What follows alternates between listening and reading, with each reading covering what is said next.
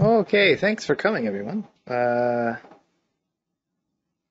how many people do we have? Oh, 18. That's a pretty good turnout. All right. So uh, I'd like to start, I suppose, by introducing myself. My name is Christopher White. I am um, an official iGuide guru, and um, I was an iGuide photographer uh, many years ago before I became a marketing manager for iGuide. Um, and so I have a lot of technical knowledge buried in my head. Uh, and I'm going to share some of that with you today. Uh, I'm going to talk for maybe 30 to 45 minutes. Because this is about Stitch, there's going to be a lot of on-screen sort of demonstration-y type stuff. Uh, but if you want, you can ask any questions you like in the chat, and then I'll, I'll go through them all at the end and I'll answer them. Um, and uh, if we have extra time, they don't necessarily have to be Stitch related. That will be the focus of this particular webinar. But um, if you have other questions, I don't mind. It's fine by me if we can answer those as well. Uh, so what we're going to do uh, first is talk about what Stitch is, where to find it, uh, and how to get help if you need it. So even if you don't listen to a thing I say today, I'm recording this webinar, so um, I can share it with anyone who wants it afterward. Um, if it's good enough, you know, I might even put it on the website. We'll see. Um, in the event that you cannot uh, get access to that or you want more, you can always go to goiguide.com and you can go to resources. So I hope you guys can see my screen here in the top right hand corner. When you're on goiguide.com, you're going to see resources. And then if you mouse down, there will be a, a menu item that says technical training. And if you go there, you're going to see that number two on this page is stitch training. So this has got some, some you know, sort of simple um, demonstrations of stuff. Uh, it kind of walks you through some important features. Um, there's a there's a lot in Stitch, to be honest, um, that you can do, but it's also extremely simple software. So even if you don't, you know, if you get overwhelmed by the details with what I'm about to show you today, which can happen, don't worry about it. It's very simple um, if you've never used it before. So a lot of you may be new. Maybe you just got your camera. Maybe you don't even have your camera yet. Um, if that's the case, um, don't worry. Stitch is very simple. It really only does a few super simple things. And I'm going to show you something else. So on our website now, if you go to resources and you go to downloads, you can download Stitch. There's obviously a version for Windows and a version for Mac, but you can also download um, some sample data. So if any of you uh, don't have a camera yet and you just want to mess around because you're excited, you can download the Stitch software and some sample data and mess around with some of the stuff we're doing today and get ready. Um, as a general description of what Stitch does, Stitch allows you to take the data that you capture from the camera and process it or configure it before sending it in to be drafted and, and before a virtual tour is created. So the reason Stitch is called Stitch is that it takes all of the, the image data and it stitches it all together. So that's why it's called that. So um, the uh, process of stitching means taking these those cool fisheye images that you see and actually stretching them out and then stitching them together. So that's why Stitch is called Stitch. But Stitch does that all automatically. You don't have to do anything there. It's going to do that all for you, um, all when you load up your data, you know, for the first time in the software. What Stitch really does is it gives you some control. It gives you a way to configure um, your your tour before it gets drafted. So what I mean by configure is that you can um, hide or show panoramas. So you can choose which ones are seen by you know the public on the tour later. You can um, add instructions for room labels. Um, you can um, edit certain variables like exterior wall thickness. You can configure different floors. You can add buildings. You can do all sorts of stuff. So um, that's really what Stitch does. It allows you to configure the tour uh, before you send it in. Because not all, but most of the stuff I just mentioned can be configured later. So you could, in theory, completely skip it all. Most people don't do that because it's very easy, but you could. You could do that, um, and it will work just fine. Um, so I'm going to show you how to do that stuff today by opening Stitch and loading up some data. Should be fun. And yes, Peter, I see your question, and we'll totally, totally go over that. No problem. Part of um, Stitch, actually, we'll just address it in part now. Um, is that uh, it's going to give you updates. So the first time you load Stitch, um, so I've just started up the software here, and you can see it. There's nothing to really look at because I haven't loaded any data yet. Um, and uh, if you it auto updates basically. Stitch uh, does a, um, a little check every time you load it and it will say hey there's a new version of stitch. Would you like to download it? So that's convenient. It's very easy. You don't have to go out of your way to find updates. But stitch is really cool. Every time you load data it will actually tell you if the firmware on your camera that shot that data is old. It actually does a little check and it'll say hey there's a new firmware version. Why don't you get it?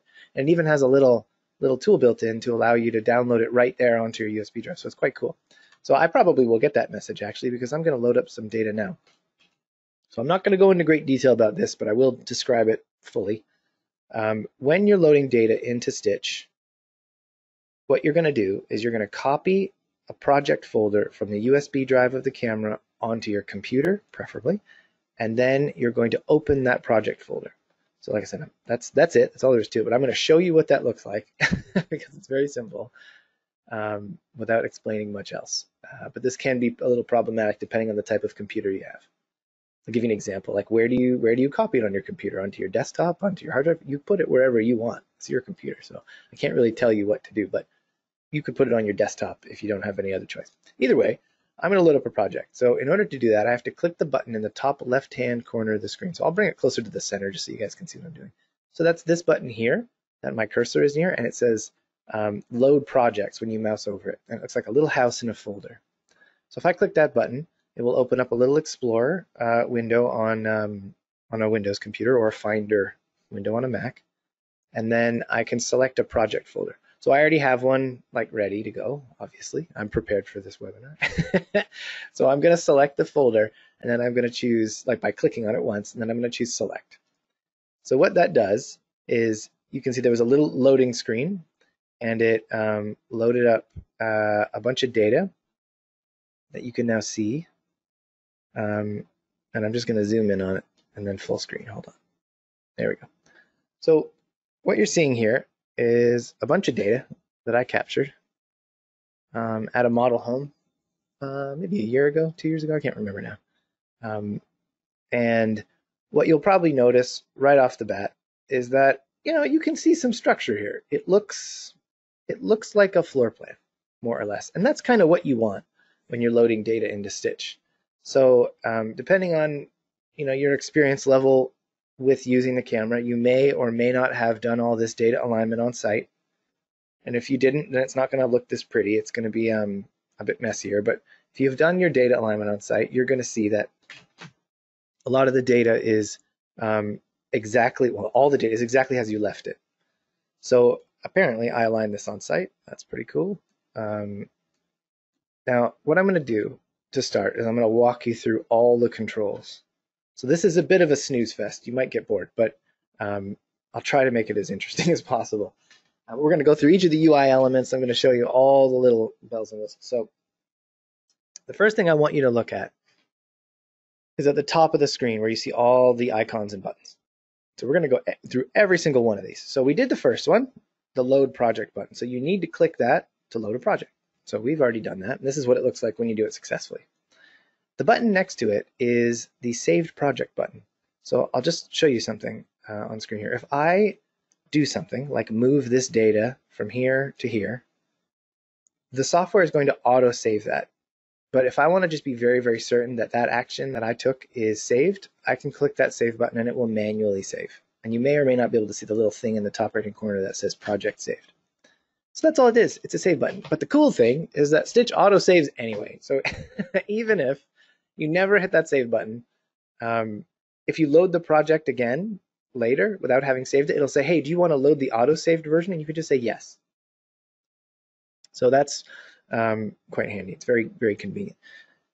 The next button to the right of the save button is the export project button. Now what the um, eagle-eyed among you may have already noticed is that every time I hover my mouse cursor over the one of these buttons, it tells me what it does. You know, you get a little, a little tooltip there.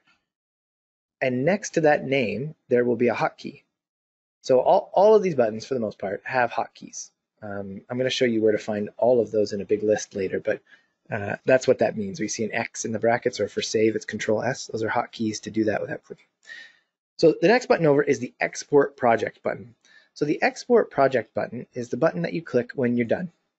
Once you've done all the things you want to do in here, you're going to click that button, and then what Stitch is going to do is it's going to take all of the changes that you've made, and it's going to make them a reality by creating a separate file that um, has all the uh, images and, and data all configured the way you want. And that file is what you send uh, in for drafting. So what this means, if we're going to get a little weird and technical, is that this is a non-destructive process. It's a bit like Adobe Lightroom. So when you're doing things um, in Stitch, you're not you're not doing anything uh, other than just asking Stitch to do something for you later. So if you change an image and you make it um, horrendously uh, off-colored, actually I'll just do that and show you here. Let's just make this really hideous. We'll just add some, actually that doesn't even look that bad. That's funny. All right, here we'll take all the color out, make it look really sad. There we go. Okay, so oh no, I've made it black and white. I've ruined the photo. Okay, no, you haven't. It's, this is non-destructive. So if I click export, it will actually perform this edit and export it to that file. But at any time, I can go back and I can change the sliders or any options back to the way they were. And it will, and then I can export again. So it's, it's a non-destructive process. It's not like Photoshop. So it's it's very safe, very safe. There's only one, one thing you can do that's destructive. and I'll just show it to you so you don't do it. If you um, right click on any of the folders over here in this folder tree, which we'll get to after we do the toolbar, there is the option to delete. If you delete something, it literally removes it from your computer. It is deleted. So don't delete things unless you want to hide evidence. Don't delete anything. Um, you have the option to hide any panoramas you create. When you're capturing uh, all these panos, you have full control over what people see and what they don't see on the tour by using um, the hide option. So there's really no reason to ever delete something um, unless you don't want the drafters to see it, which is fine. Okay, so the export button um, is extremely important. If you only ever click one button in this whole interface, that's the one because it's the it's the minimum. You you have to click that export button to create that special file that you send in for drafting. So the whole thing falls apart without it. Um, the next button over is the move and rotate scans button. So what you're going to notice is that this one is auto-selected by default. So when you load up software, this is the one that will already be clicked. And what this button allows you to do is exactly what it, it says it, it allows you to do, move and rotate scans. So I'll just zoom in here and show you what it does. So you can't see can't see my hands, but I'm I'm using a mouse, a two button or three button mouse, and I'm using the left click on my mouse and I'm left clicking and dragging and holding the left click and I can move a scan around. So it's probably a bit choppy on your end, but basically it's I'm, I'm taking a single panorama or scan and I'm moving it around. If I right click and drag, it will rotate. So that is um, how you can align data. So aligning data is one of the big things that you're probably going to want to do in Stitch. So I'm going to give you a really quick example of that, and then we'll kind of dive into it later. So you can kind of see that this I hope you can see that this is in the wrong spot. So if I were to want to put this in the right spot, I would move it, and then I would rotate it, and then I would place it where it belongs relative to the rest of the data. So that's what, what moving and rotating is for. It's so that you can align your data before you send it into us. So if your data is not aligned properly, there is a chance that the drafters won't be able to figure it out and they may refuse it. Um, so you want to have your data aligned as best you can. So this this panorama, I don't know if you guys can see this, but this is an outdoor pano, um, and it is in the wrong spot. And I know it's in the wrong spot because this is the front of the house, and this shows me the back of the house. So I'm going to actually align it for you. So I'm going to move it over here and put it in place. There you go. That's where it goes. So that's what, and that's an actual uh, data alignment that I just did. Um, the next button over if you look at the toolbar, is going to be the Add Notes button. So if I click it, what will happen is that this button will now be selected. So I can't move and rotate data anymore. It doesn't work. So if you're if you're trying to move data and it's not working, that's probably why you probably just selected another button. But you'd want to use this Add Notes button to add um, any information you want to, you know, the floor plan specifically. So I'm just going to show you a quick example. There might be other reasons why you might want to do this, but um, the primary reason is to add a, add a room label for the drafters. So with this selected, if I double click anywhere on this data, I can now add a little text label. So I'm going to say, um, I'm going to type in the word den. So now that I've labeled this, I've basically said to the drafts people, this should be called the den. Like they, they're going to read this and they're going to know that. They're going to say, oh, okay, he wants it called den. That's cool. So that's a really good reason to use it. I don't know what other reason you might have, but you can put any text you want anywhere you want on the floor plan um, using the add notes um, function. So the next button over is the set initial pano angle button. So this one's a little funky. I'm going to show you how it works, but it relates to this blue box. So um, if you look at the image, there should always be, for the most part, with one exception, a blue box somewhere on the image. And this represents the first thing that people will see when they click on the pano.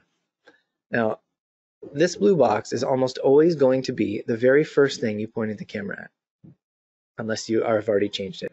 Um, so what that means is that, and then you probably, have, a lot of you probably already heard me say this, but when you're shooting, it's a good idea to always point the camera um, at something important for your first shot. That way, the initial um, pano angle, what you, the first thing you see when you load up the pano, will be, you know, already configured. You don't have to do it later. But there are times where you might change your mind, or for other reasons, you pointed the camera at something initially that um, wasn't particularly attractive, and you can change this you know, um, right here in Stitch, and you can also actually change it later on the portal, which is pretty cool. But the way you do that uh, is you click on the button that says um, set initial pano angle, and then if you mouse over the preview image, you can see I have a white box. So I, what I, what I want to do is line up the white box over something I think is attractive, which I would like to configure as my first angle, and then I click, and you can see now it's moved the blue box over, and now that will be the initial starting position. So using this, you can configure um, the first thing that people see when they click on a dot on the floor plan. So I don't have an iGuide handy to show you, but imagine for a moment you're looking at the actual virtual tour. You have a floor plan on the left, and you have visuals on the right. So there are two ways to navigate.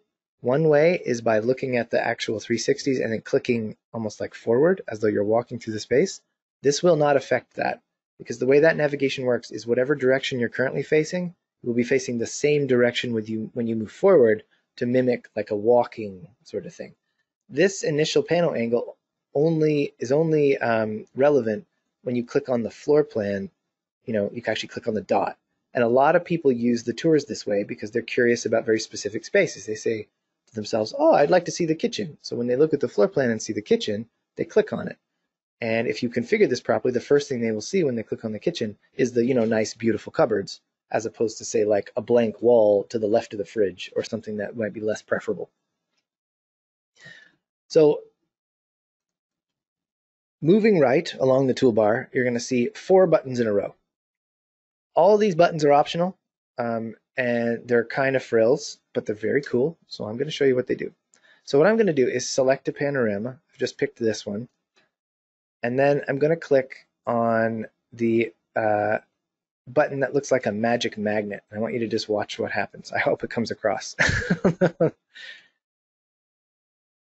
so I hope that was visible. Basically what it does is it snaps the panoramas into place. So every so often you're going to have a panorama in the middle of nowhere and if you click the magic magnet it'll snap it into place. So these are basically automatic alignment tools. So what you can do with these tools is align um, data for a property um, you know, one sort of piece at a time or one scan at a time, or you can do the entire thing at once. So I skipped one. There's another um, uh, button here that says arrange all scans. It's like a magic wand with sparkles or stars. So what that one does is it does the magic magnet. It just does it in order. So what you all have probably noticed at this point is that when you're shooting with the iGuide camera, it numbers all of your panoramas because although the system is nonlinear, you can shoot in whatever order you want typically people shoot in a, in a logical sequence. They don't want to waste effort, so they move from position to position, as in closest space to closest space, without you know going to um, strange areas of the house they have that are nowhere near what they've previously shot. So the software knows what the order is because it knows the order you shot them and they're all numbered as well. So what it will do if you click the magic wand button is it will try to arrange them all one by one in order. Sometimes this works, sometimes it doesn't. Here, we can give it a try because we can undo it. So if I click it, it's going to say, are these scans in the correct position? And I can go through and confirm them one by one, or I can just click yes to all, and it will just have a go at putting them all together um, all on its own. And yeah, it did an okay job. I mean, not fantastic. Oh, I see. It's the garage that it messed up. Now that's very common uh, because it's uh, very challenging um, when the um, one position doesn't, it can't uh, see another position very well. So you can actually see that uh, here perfectly because you can see this space. Um, this doesn't have line of sight to here. There's very little data in common from one scan to the next. So I can see that was challenging. But you can see that it did a pretty good job. Put everything together more or less perfectly. Um, the nice thing is that if you click that magic wand button and it's a train wreck and it doesn't look very good, you can always click undo um, and it will go back to the way it was.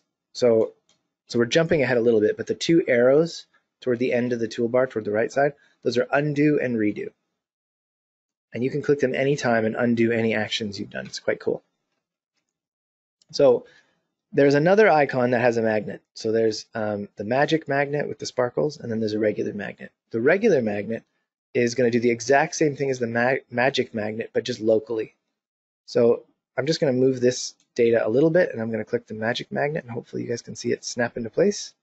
But if I move this way over here and I click the little magnet, it doesn't work. So what it does is it attempts to align the data to something that's close to it. So you can use these as you know interchangeably. It doesn't matter whichever one you find more convenient. Most people just use the sparkly magnet because it works better.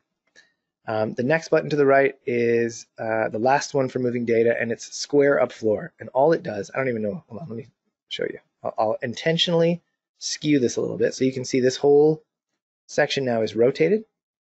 So what I'm going to do is I'm going to click this button, and I hope you can see what happens. There you go. All it does is right write it up. So if you've already aligned your your all your panoramas to be right angles to the sides of the screen, you've already straightened it out, it literally will do nothing. You won't even notice that it does anything. uh, but it's a handy tool. So um, the next button to the right of the square up tool is the paint bucket button. So this one's fun. Uh, it doesn't do um, anything to the data. It just changes the way it looks. So it mimics the coverage button in uh, in Survey. So the coverage button Survey does does this. It shades everything in so that you can kind of see where you've been and where you haven't. So what you've probably noticed is that some areas are kind of green or black or whatever, and some are, um, you know, uh, you know, blue or, or black and they have nothing in them. So areas that are black are areas where there is no data. So I'll give you an example. There's a, an area over here um, that's a black rectangle. Try to zoom in on it. And that's a fireplace. So I didn't measure that, and that's okay. But what this tool does, it'll, it gives you the opportunity to kind of analyze what you've done and figure out if you should have gathered more data or not. At this point, if you're in Stitch, it's already too late. You've already left the house. But it can still be a useful tool for self-analysis. So I'll give you an example. If I remove this panorama, I can then look at the rest of the data and see if I still had enough um, you know, to hit all the walls and, and possibly draw a floor plan. So what I could do is I could subtract panos and see if I could have saved myself some time um, if that's important to you. So this doesn't change the data in any way, doesn't do anything other than just shade everything in a little bit so you can kind of see where you've been and where you haven't been. The next button is quite handy. So if I zoom out or zoom too far in or whatever, I can click the magnifying glass and it will just fit everything on screen. So if you accidentally zoom in too far and you've lost all your data, no big deal. Just click the magnifying glass or the zoom to fit tool and it will just put it all on screen for you. The next button is a pretty important one. It's the adjust panoramas button and it looks like a wizard hat. When you click it, it's going to bring up a screen. So I already kind of spoiled this one by loading it already, but what you can see is that it shows a really big preview image and then there's a whole bunch of sliders. So the formatting on my screen is a little weird because I'm doing this all on a 4K TV. It'll probably look a little different for you, uh, depending on the resolution of your monitor, but you're going to have two uh, banks of sliders.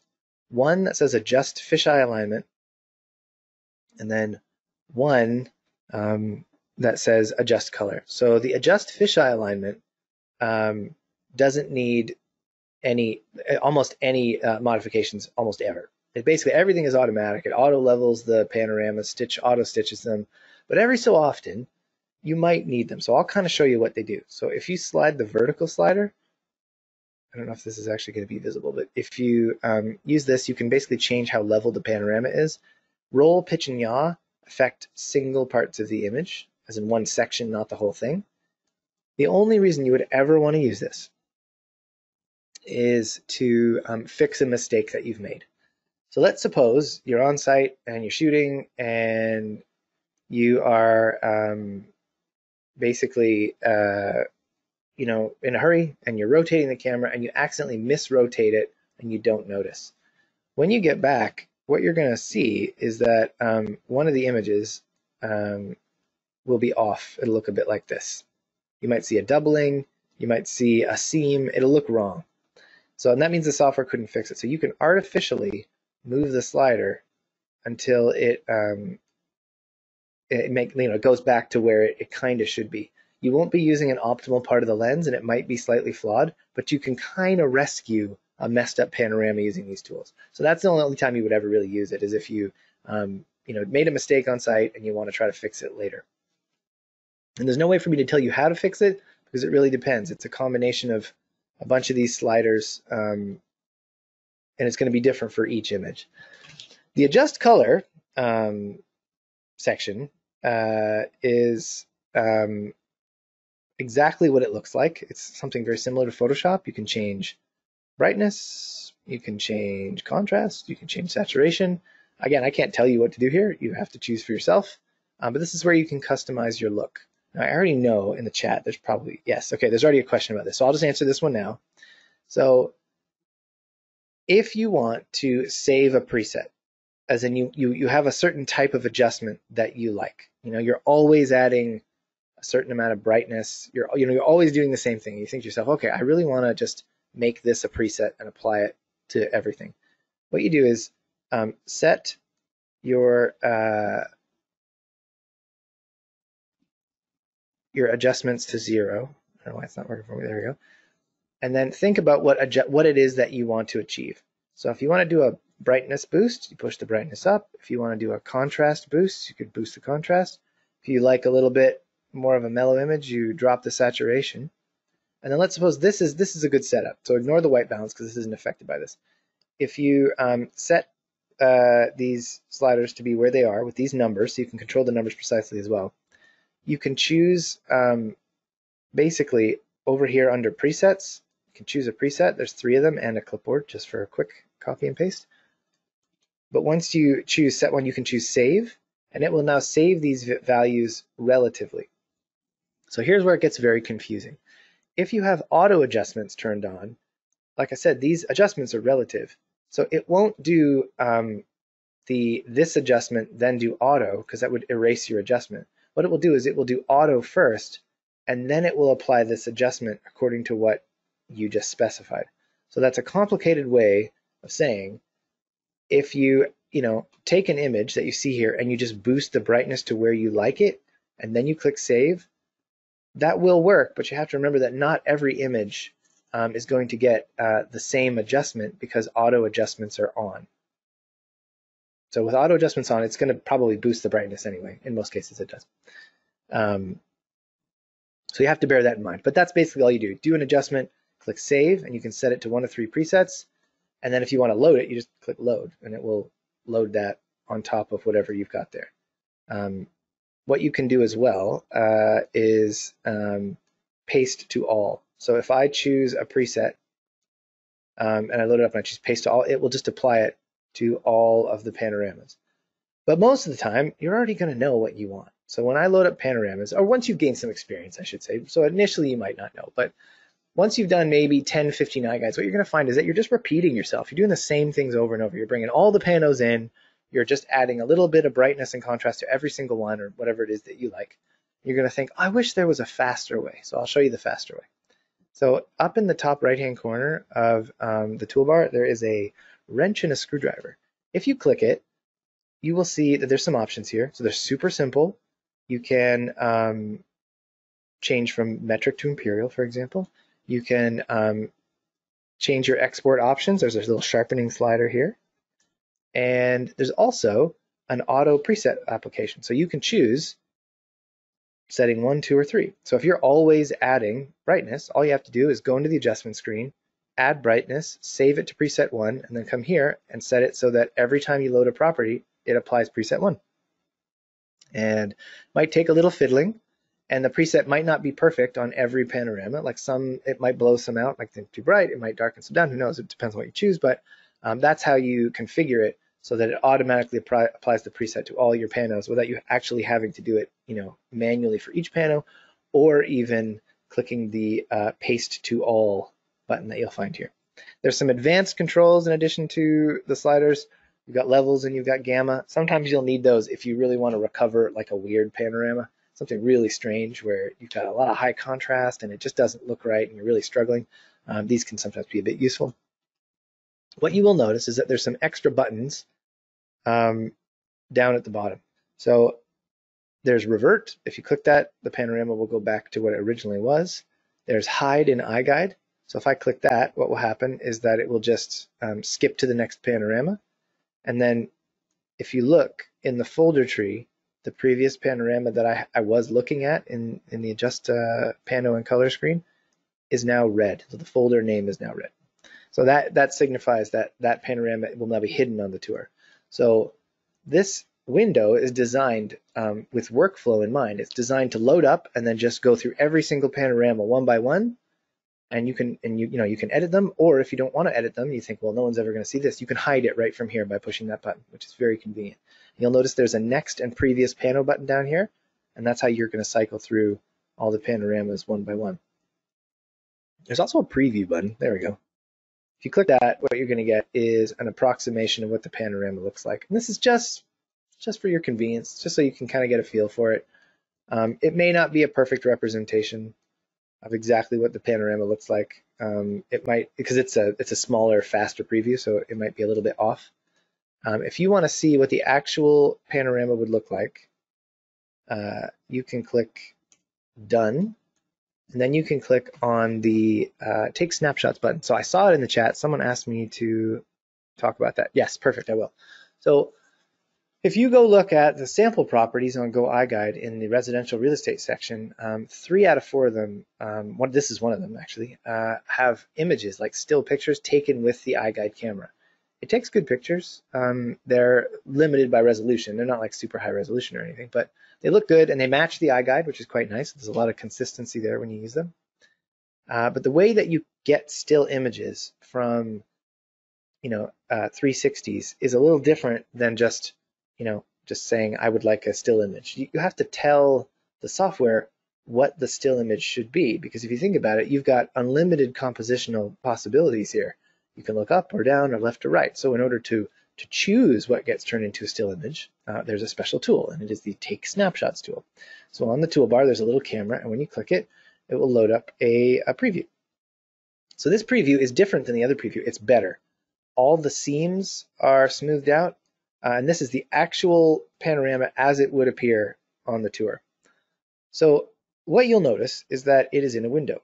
So whatever is in that window can be captured as a, a still image with it with a few variables. So the way that you do that is that you you compose essentially an image by um, putting on screen what it is that you want to capture and then tapping the capture button. And then I hope you guys can see this. There's a thing that says you've just saved an image to your computer. So all it does is save a JPEG straight to your computer so that you can look at it. Um, but you've got a few options here. One is aspect ratio. You can change to 3 by 2 or 16 by 9. And you've got this grid overlay that goes on top. So um, if anyone here is not a particularly experienced real estate photographer, um, they're just getting started, the number one thing you can do to um, make your images look professional would be to align your vertical lines, and that's what this grid is for. So what I mean by vertical lines, I'll find you one here. Um, there you go, this doorway's got a few. All of the lines that are supposed to be vertical in an image should be as close to perfectly vertical as you can get them and that means they shouldn't converge toward the top of the screen or converge toward the bottom. So I'll show you what I mean. If I look down, what you're going to see is that all the images on screen are converging, or sorry, all the lines are converging toward the bottom of the screen. They're not straight. If I look up, you're going to see all the vertical lines are now perfectly vertical. And if I keep looking up, you're going to see now all the vertical lines will converge toward the top of the screen. So we don't want converging vertical lines. We want them to be perfectly straight up and down. The number one thing that differentiates, you know, sort of amateurish photography from um, really good photography, professional looking photography is just that vertical lines. Everything else is important, like exposure is important and composition is important, but they're not as important as straight vertical lines. You can take an absolutely garbage camera, your cell phone, it doesn't matter. And as long as your vertical lines are nice and straight, your images will look good. They will look professional. Um, with a few exceptions, like if you take a picture um, of a toilet. Uh, is it possible to allow software developers saving as DNG versus JPEG? Okay, so this comes up all the time. It's RAW versus JPEG. So RAW files are awesome because they save a lot of extra information. The main benefit with a RAW file is going to be white balance, um, which you can just do after the fact. So you can completely blow it on site and you can still fix it later.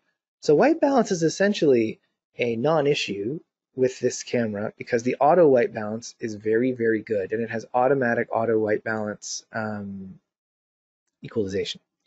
So white balance is, is, isn't as important as you'd think. And with exposure, what happens is that um, you actually get more dynamic range out of a fused HDR JPEG, a series of JPEGs that are fused into an HDR composite, than you do with a RAW file. So what it comes down to is um, it's a trade-off. So yes, you have the ability to edit more on a RAW file later, but the size of the RAW file is humongous compared to a JPEG, which can be captured and fused on site in seconds. So it's a trade-off in data size and time. So if you were to capture images with the camera in DNG or whatever the Canon RAW file is, like a CR2 or something, um, you would be capturing so much data that it would the camera would essentially be unusable. And there's a lot of factors. It's the write time to the SD card. It's the because we're taking images after like nine images per um, per panorama, right? And that's just repeated over and over for 100 panoramas. That's that's bonkers. That's too much data. So it's just not practical to shoot in RAW.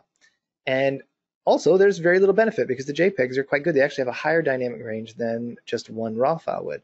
So the only thing you could really do to offset that would be to take multiple um, raw files, which would make things even worse and compound the data problem. And then with raw, it, the the issues just keep going. Like as soon as you load it into the software, you would then have to process the raw files, turn them into JPEGs. That's extra time. So that's an extra. I mean, for you know hundreds and hundreds of JPEGs, that's a lot. And then you'd have to stitch them. Um, all of that to say that um, raw files aren't supported, and um, JPEG just makes sense for now until um, data storage and the actual um, processing power of uh, computers uh, gets greater. Uh, I forget what I was doing. Oh yeah, right. Okay, so still images. So you can capture some pretty amazing still images with the camera, uh, but the camera will not do it automatically for you. It's it's on you. So if you are not um, trying to make good images, then you will not get good images. If you're trying your best to create interesting, compelling images, then you're going to get you're going to get pretty good images. The other thing that makes this this work a lot better, but you can really take it to a bad place, is the field of view slider. So it's just a, it's just a zoom slider, um, but it gives you it gives you a lot to work with. So if you zoom out, you can see that this is really stretched. Now there there are some panoramas that suit that, you know, that that you could pull a still image out zoomed out this far and it would be fine. But what this really is for is not so you can make the room look like a concert hall. It's so that you can just get the compositional freedom to get the shot that you want. Um, because you might crop something out of this. And, you know, the um, position of a panorama or a still picture might not have been ideal on site. Um, and you might not know. It's hard, much harder to compose with this camera for still images than it is with another camera because you do so much recomposition later. So yeah, my official advice is watch this one. Don't zoom out too much because it starts to get really stretched on the edges.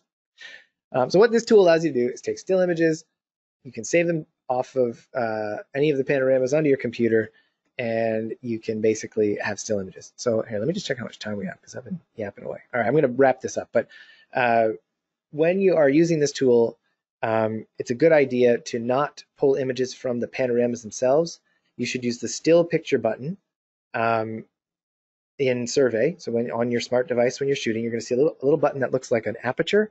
What that does is it just shoots one part of a panorama, so you don't have to shoot the whole thing just to save you some time, and then you can pull a still image from that. Um, often the reason that's better is not because it's faster in that way, it's because you can back the camera up into a corner and take a picture into the room to get a better natural field of view. It's um, not a great situation to have to take a still image from a panorama taken, say, like one foot from a bed. It looks weird. You have to really zoom out a lot to get a normal photo. But if you just pick up the camera, back up into the corner, and press that still picture button, you'll have a much more natural looking still photo later. That's something that you should uh, practice and experiment with if you plan to use this camera for still photos. It's really easy and it's super fast, but you kind of have to wrap your head around the workflow because you have to shoot your panorama, then back up into a corner, shoot a still, and then kind of move on without just shooting straight up panoramas for the whole shoot. Okay, cool. Let's see. Was there any buttons left? Yeah, there's a couple left. So undo and redo, we talked about those. They undo and redo any actions that you've taken. There is a um, hints button. If you click it, it will give you some suggestions uh, on um, things it thinks you might do better in terms of color adjustments. So that'll only give you suggestions if there's problems. So if it says no hint for now, don't worry about it. Um, the settings we already talked about. There's um, a sharpness slider. My recommendation would be just keep it in the middle, but if you really want to push it, you certainly can if you like that look. You can change from metric to imperial, and then you can apply presets. There's a checkbox here that says select initial pano and angle. So if this is checked, that means it will not let you export without selecting the initial pano and angle. So the initial pano is the very first um, panorama that people see when they load up the tour. So if you don't care, you can turn that off. But if you do care, um, you can easily set the very first pano that people see by right clicking over here on the folder tree and then choosing set initial pano. So if you do that, you can't see on my screen because the scaling is weird, but there will be an orange dot that will appear on this little pano folder, uh, signifying that that is the very first pano that people will see. If you don't configure it, or if you configure it incorrectly, no big deal. you can always configure it later on the iGuide user portal uh, anytime you want uh, without any issues. So um, the folder tree over here on the left uh, has a lot of interesting hidden stuff in it. So what you're going to notice is that it is a um, folder structure that nests. So you've got the project at the very top, then you've got buildings underneath it, and then within a building you're going to have floors, and within a floor you're going to have panoramas. So if you were to go look at the actual data on the USB driver on your computer, you would see that it actually looks like this. You're going to have a project folder name, and then inside that you're going to have um, subfolders corresponding to floors and to panos. So when you actually look at the data, it, that's why it looks like this. It's it's basically mirroring the folder structure that happens when you capture the data. Um, you can right click on anything here and get extra options. So if you don't remember anything else from this whole webinar, you remember one thing other than click the export button, it's to right click on stuff because you'll find things. If you right click on any panorama, you get a little menu and it's got lots of awesome stuff in it. You can rename the panorama should you want to. You can hide in the iGuide. so I'll do that now and show you what it looks like. If I click hide in iGuide, changes it to red. That means no one will see it on the tour. Uh, Peter, the still images are saved in the original project folder in a folder called snapshots. And you can upload them to the gallery um, when you're uploading to the portal. So if you're on the, um, if you're, you know, creating your iGuide and you scroll down, you're going to see there's a, literally a, uh, like a box and it says gallery images and you can add them there. If you don't add them there, it doesn't matter. You can always add them later at any time. On the iGuide portal, you'll have a property, you know, be in um, your My iGuides list. There's a button that says gallery. If you click it, you can upload right there. And you can upload still images from whatever you want. Your own camera, DSLR, your cell phone. Don't do your cell phone, but the iGuide camera, the agent's cell phone. I mean, whatever, you know. Um, when you right click, you're also going to get a few options that will probably not make sense. There's open folder. I'm not going to go into detail here. That's a separate webinar, but you can actually open the very folder that contains the data and have a look at the actual fisheye images and edit them if you want to. So that's pretty cool. So you can edit out reflections and some other weird stuff. You can reload, which means that um, basically it will reprocess this preview image for you. You can uh, re-import, which does something very similar. You can delete, never do this. Like I said earlier, if you delete it, it is gone from your computer forever. You can re reverse camera rotation, which is kind of neat. Here, I'll show you what it looks like. We can do a little pretend thing here. So if I right click on this and choose reverse, you, what you probably should be able to see here is that the this data looks a bit off. Like this doesn't look like a representation of a room. So if, if you've just started, you just got your camera and you accidentally rotate the camera counterclockwise instead of clockwise, and you don't notice until here, no big deal. You can just right click on the panorama here in the folder tree and choose reverse camera rotation and it will fix it for you. And everybody makes that mistake when they first start. So it's totally, totally normal. Uh, and then the last thing was that set initial pano that I had mentioned earlier.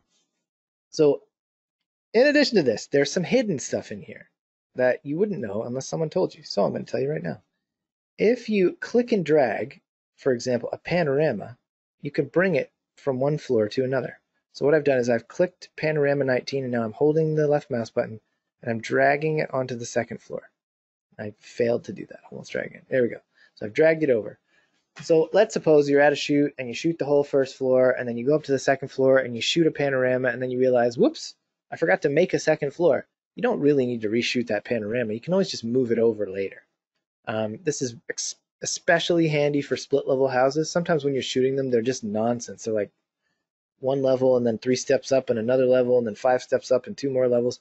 And you, it's, you know, it, you're kind of like, what, what, what's a floor here? I don't know where to put these. Don't worry about it. You can just figure it out later um, by moving panoramas from one floor to another. And then if you really want as well, you can right click on the main building here uh, at the top uh, of the folder tree and choose add a floor. So let's suppose that you accidentally shot two, you know, two floors um, on one for some weird reason. No big deal. You can always just create a floor, rename it by again right clicking and choosing rename, uh, renaming that floor to you know second floor, and then just dragging your panos over.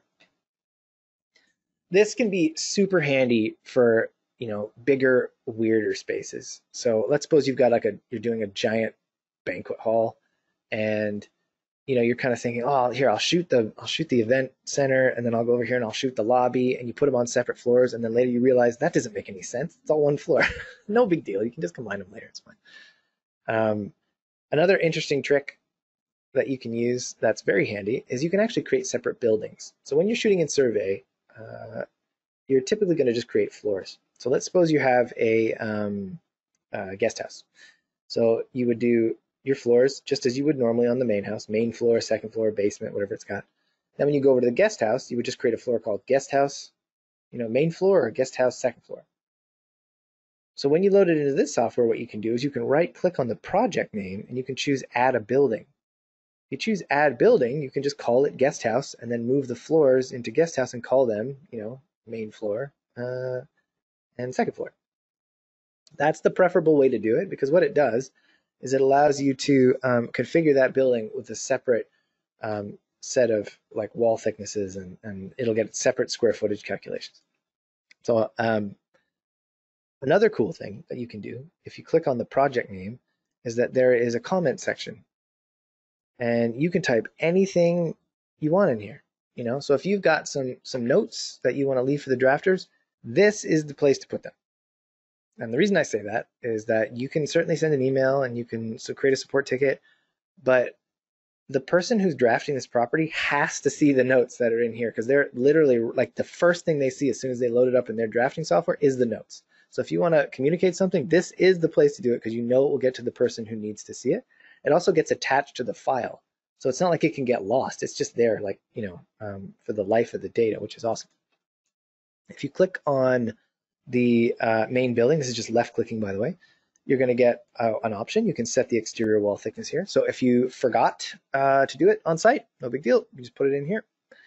Um, and you can also, if you click on the floor, uh, set the wall thickness here. So um, wall thickness is uh, important but setting it for the entire property is what's important, not necessarily setting it per floor. So without going into great detail, I will say that always include the exterior wall thickness for properties that are detached. Never include it for ones that are attached, like townhomes or condos, uh, and you'll be totally safe. And don't bother to include the exterior wall thickness per floor unless you've got some really good reason to do it. And you may, you know, there might be a house that's been renovated and it has a new second floor and maybe um, that second floor wasn't originally there, so it has a completely different wall thickness than the first floor. That would be a perfect example of when you'd use it. But if you set the wall thickness for the whole property, what happens is it just inherits it to every floor. So I'll show you what that looks like. If I put it in for this building, we're going to put it in as um, 10. And then I go to the exterior wall thickness for the floor. It now says 10 inherited. So if you add it for the project, it just adds it in for every floor. Okay, where are we doing for time? Okay, eight minutes. I don't have a lot of time. I'll try to move fast. Um, you can move panoramas up and down in this list as well. So let's suppose that I shoot my first panorama for some weird reason in a back bedroom, you know, because they're, they're busy and they're staging the front area, who knows, right? I can um, then click and drag that panorama to be where it is supposed to go in the list from top to bottom. And what you want is you want the panoramas to be in an order that is that makes sense from top to bottom if you enable autoplay. This is where it gets weird. So typically when people are viewing the iGuide, they look at a room and they say, oh, the kitchen, and they click on it and they look at it. Because that's what home buyers do. They're looking for information specifically, you know, about spaces and um, they, they may navigate visually or they may navigate, you know, via the, um, uh, the floor plan. But what you'll often have happen is that someone like uh, an agent or someone who's kind of demoing the property will just press the autoplay button on the tour and just let it cycle through all the panos. Maybe they're doing a trade show or they're doing a, a demo where they're just going to talk over it or whatever. So that's the order that it plays in autoplay is the order you see here from top to bottom. So if you shoot the property in a, in a like a logical sequence, no problem. It'll be already in a good order, right? From the front door all the way around the house to, to when you finish. So if you need to configure it, that's who you'd be configuring it for. Someone who would press that autoplay button, typically an agent. Homeowners like never bother because it takes about a minute per pano, which would take you like forever to get through a property. Uh, but that means just clicking and dragging panos up and down in the list. So you can see I've moved panorama 14 up underneath panorama 3. Uh, but if you shoot it in a, like a good um, logical sequence, it won't matter anymore. Okay. So if you um, want, actually here, I'll show you this real quick. If you look down here, you're going to see that um, I have a, a, special pictures folder. So that's what I mentioned earlier about using the still uh, still pictures. Um, if you click um, one of these, you're going to see it's it's like a partial panorama, and you can pull a still image from this um, without having to shoot a whole panorama, which is quite cool. And often this allows you to back up into the corner of a room to get a better perspective. Okay, so let's talk about the um, some tricks because that's fun. So a really fun trick that everyone should know, but not everybody knows, is the space bar. So a lot, these are all keyboard tricks, really. If you tap the space bar while holding your mouse cursor over any parts of the data, it will just select the nearest pano. So this is really, really handy if you're aligning data. Because you might, you might get something like this, where you need to just you need to just pick things and kind of pull them apart and move data around. Um, let's let's try to auto align this and see what happens. It might work. Oh yeah, there you go. Okay, so auto alignment just put it together. I didn't have to do anything. So we went from get it on screen. We went from this to this. That's much better. Couldn't figure out where this room went. I know where it goes. Goes like here, I think. Um, so the space bar. If you tap space bar, it'll just select the nearest panorama. Another cool thing is that if you use the arrow keys on your keyboard, it will move the data around. Because what you'll find is that you use the mouse wheel on your mouse to zoom in and out, but sometimes it doesn't go really where you want. It's supposed to go where you're pointing, but maybe you pointed somewhere and then you think, well, I don't, I don't want to zoom back out. I just want to like look left. You use the arrow keys on your keyboard um, to do that. You may also want to move all the data at once. So if you hold the shift button, you can drag a box around the data and then whatever you click and drag will all move. And you'll notice that what moves is what's green. So what's green in terms of data is what has been selected. So you can select, you know, one panorama. You can actually select two panoramas, or you can just select all the panoramas if you want um, and move them wherever you like. There is a trick to this. If you tap, um, I forget what it is, the F key, I think. I'm actually going to show you guys right now how to find out where the shortcut keys are. So even if you don't remember anything I just said, no big deal. If you go to the help button, which is the question mark, and you look at um, the shortcuts tab, it'll tell you all the keyboard shortcuts. So let's see, we've got Auto rotate, cool. Take snapshots has one, didn't know that. Neat. Zoom to fit, that's really handy actually. Coverage is good too. Um, and then you've got the shift. So I'll show you one more thing with shift actually. If I zoom in really far and I hold shift, I can select a pano individually by clicking on its center as well. Oh, another cool thing, if you zoom in, all the centers of the panos are actually compasses. So um, when you are shooting, the compass in the camera is capturing data and it's taking readings at every single position and all of those are recorded and averaged later so that um, the compass can be added uh, to the iGuide itself. But it's kind of neat, you have access to them. So this can be quite handy if you um, have a panorama, say here, and it's misrotated, you can easily see that its compass differs from the others and that can give you a little heads up on where it's supposed to go. So that's kind of neat. Okay, uh, so there's a few extra things in the help that I didn't mention. Um, there is a um, check for updates in here. There we go. If you click support, you can click check for updates and it will um, look for updates for you. Uh, okay, I'm going to just answer questions now because we're running out of time. What else have we got here? Uh, do you need to add a memory card to the iGuide camera take stills? Nope, they're all saved to the USB drive. Um, the camera, if you turn on the live view, will always say no card in camera. Just ignore it. No big deal.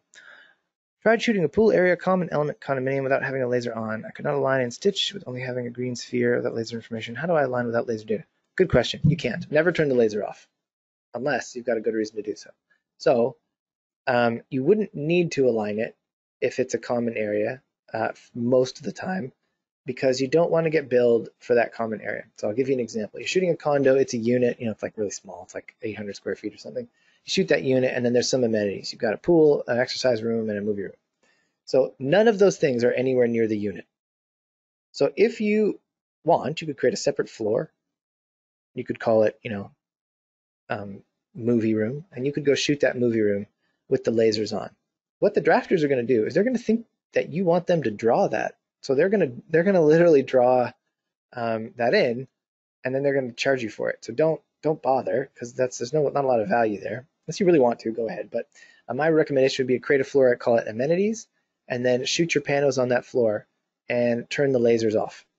So then alignment is irrelevant because when it's presented later in the iGuide, there will be little thumbnail images instead of the floor plan, um, which is very effective. You can name each one of them too, which is quite cool.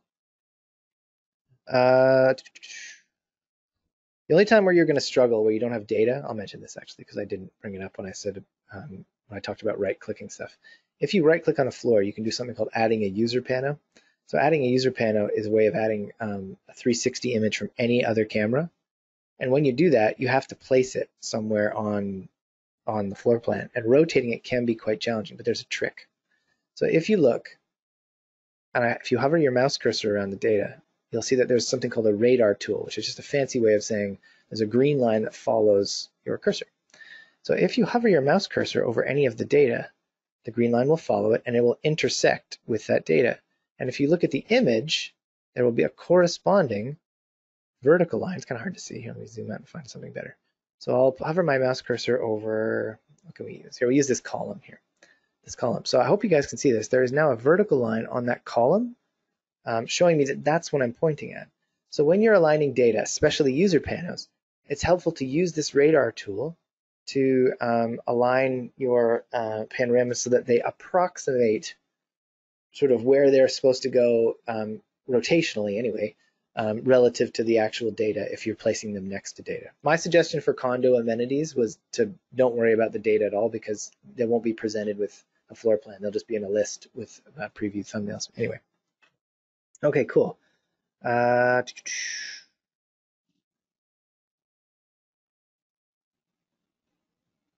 yep, that's good. Okay, that already answered. You're helping me out, Peter. Thank you.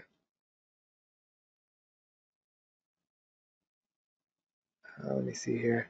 Can I selectively discard the laser data so as not so for it not to get drafted? Yeah, well, so the thing is you can't delete the data later, but you can if you put it on its own floor, you can just add notes. You can just put a little note that says, please don't draw this. Just, just you know, just I just want the 360s. The drafters, they're people. They'll say, oh yeah, no problem. Most of the time, what happens is the drafters, um, they know you probably don't want that drawn. So if you shot, say, five or six panoramas in different places in a condo building, all amenities, and chuck them on a floor called amenities, but they had laser data, they wouldn't draw them because they think, oh, they just want them in a list. That's fair. So it's it's pretty. You don't have to worry too much about that. Um, but yeah, just communications with the key here. Just make a note, um, and uh, the drafters will know exactly what you're talking about. Okay, if you submit the exported file but realized after there were some panos that were not aligned, does that matter? Ah, kind of. So you want your data to be as well aligned as possible. And the reason is that there's a risk involved in sending in data that's not aligned. So the drafters have never been to that property. They don't know where things go. And there is a chance that um, they won't be able to figure it out. So in most cases, they probably can, depending on how talented they are interpreting the data. Um, but it's not worth the risk. So I'll give you an example why. So don't worry too much about it if you're just starting. If there's a couple rooms that aren't perfect, it's fine, not a big deal. In fact, the data doesn't need to be perfect at all. As long as it looks like a floor plan at about this zoom level that you see on screen right here, that's fine. Um, but let's suppose we had one that was like really out of whack, like way over here, and it doesn't make any sense. So they'll probably be able to figure it out. But if they can't, what they're going to do is they're going to contact you and say, hey, you need to fix this data. We can't figure it out. So that causes a delay and it snowballs. So you submit the data at 7 p.m. on a Thursday. They don't even see it until, I don't know, 8 a.m. on a Friday. And then they contact you and you don't see their communication until later that afternoon on a Friday. And then you have to go home. Maybe you're out like working. You have to go home and then edit the data on that Friday. And then you submit it and then they don't see it again until the next Saturday. So your client's like freaking out because they're like, where's my tour? Um, so make sure that your data is well aligned and that everything is where it's supposed to go. Like don't spend a lot of time on it, but make sure that, you know, when you're looking at the data at about this zoom level, it looks like a floor plan. You should be fine. Um, but also don't be sloppy. You know, don't leave stuff just hanging out in the middle of nowhere because if they can't figure it out, that's that's going to cost you. it's going to have, have angry clients. Um, so you want to avoid that. Uh, let's see. When do we get charged? Can I export panos from Stitch? Uh, so two questions there. So you, it's monthly billing. Um, so you're going to get sent a bill after each month, and it will detail whatever it is that you owe. Um, I imagine. And then there's a bunch of payment options. I don't know what they are, but I assume it's bank transfers and credit cards and whatnot. Don't quote me on that. Uh, can I export panos from Stitch? Uh, so no, you have to go through. So you can get all the image data from the iGuide after it's processed in one download. It's like a button that you click, and it's called Photospheres, and it appears in the report. And when you click it, can you just download the whole thing if you want. You can also, technically speaking, download each individual one one at a time if you really wanted to. But most people don't bother. It's much faster just to download them all uh, in one go. Do you have to scan inside of the closets? Uh, what if it's full of stuff? Oh, that's a good question. Okay, let me check how much time we have. Okay, this will be the last one, and then we'll be done. So closets are funny. Everyone always asks this constantly. Um, so I really need to write like a whole article on closets, probably. probably helpful at this point. So um, I'll preface this by saying, when in doubt, always shoot a panorama.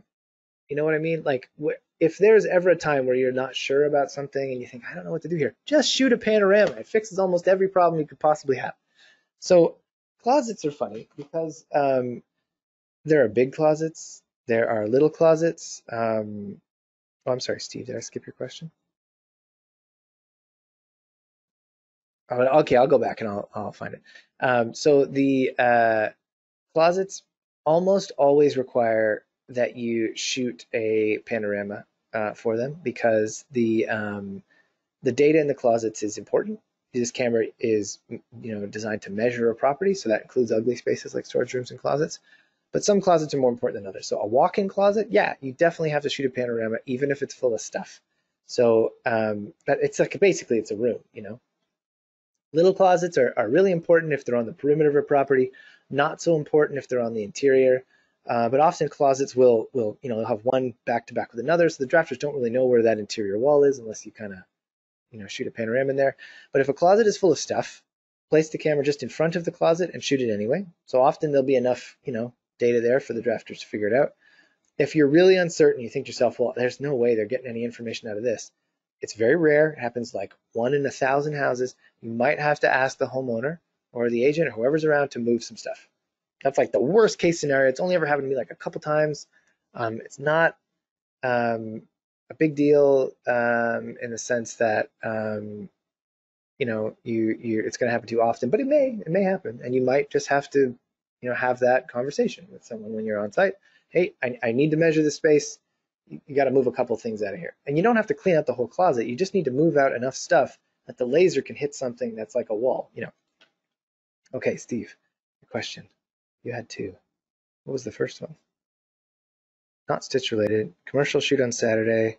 Medical practice only in one suite of a building. All they care about is their suite integration of Google Street View. Is it possible to do an iGuide without a floor plan? Oh, yeah, okay. So technically speaking, um, no, it is impossible to do an iGuide without a floor plan. But you can do an incomplete floor plan uh, if you're going to export it to Google Street View. So what that means is that you take your, um, and the reason is that the floor plan is actually integral to the exporting to Google. You have to have it or it won't work because um, it positionally locates the panoramas.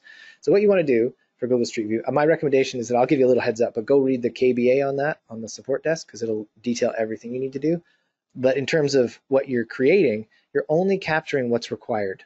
You don't need to go into every single room and every single space. You just need to get what you need. And then um, when you bring it into Stitch, you just treat it exactly like you would a normal project, except that there's going to be a bunch of stuff missing, and that's okay. The only catch here is that it needs to be continuous. It absolutely must be. So here's an example. You're going to shoot a bank and you've got a lobby and you've got three meeting rooms in the back.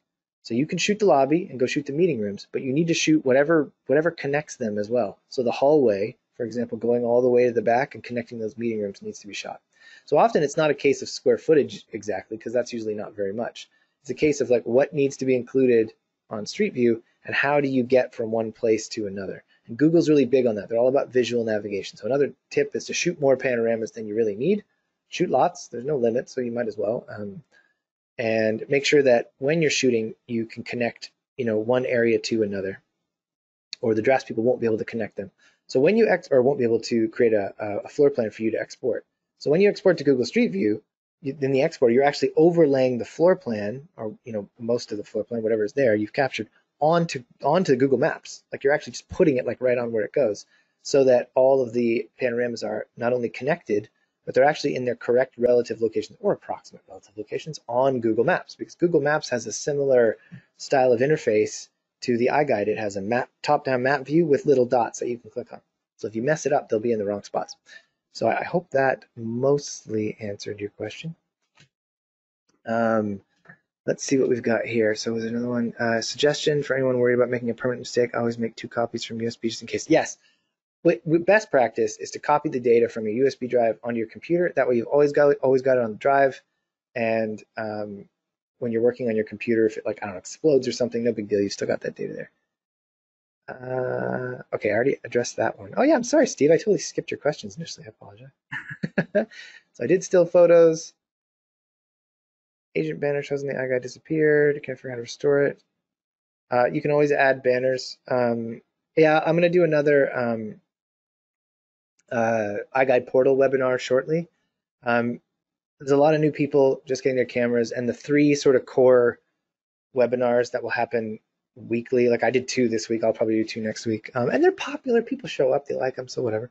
Uh, are Stitch uh, shooting with the camera and then using the iGuide portal. So yeah, they'll be that will be basically the next one. It's not literally the next one. I think it'll happen maybe the week after. Not sure. I'll check into that. Um, so I answered that one. I did that one as well. Got it. Perfect. All right, let's go to the bottom. Uh, if you submit the export, oh, I already answered that one. Um, Okay, cool. So that's all the questions. Okay, so we've run out of time. Uh, thank you so much, everyone, for coming. I really appreciate it. I love it when people actually show up. It's great.